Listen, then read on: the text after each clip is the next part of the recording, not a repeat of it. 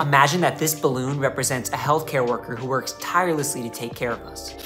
Imagine that the air in this balloon represents the stress and the pressure that healthcare workers face every day. The constant demands, the long hours, the administrative work all contribute to pressure building up inside of them. Just like a balloon, there's a limit to how much pressure healthcare workers can take. And eventually, it becomes too much. And we burn out. Here's the problem. According to the World Health Organization, by 2030, we will be short roughly 10 million healthcare workers. Healthcare systems around the world are in crisis. 42% of healthcare workers are actively considering leaving the field entirely. That same percentage of patients have little trust in their healthcare system providing affordable care. This new study by GE Healthcare highlights six key trends currently underway that could lead healthcare in the right direction and identifies nine barriers that stand in the way of getting there. Check out the new study by GE Healthcare on my page and learn how we can all work together to create a better future for healthcare.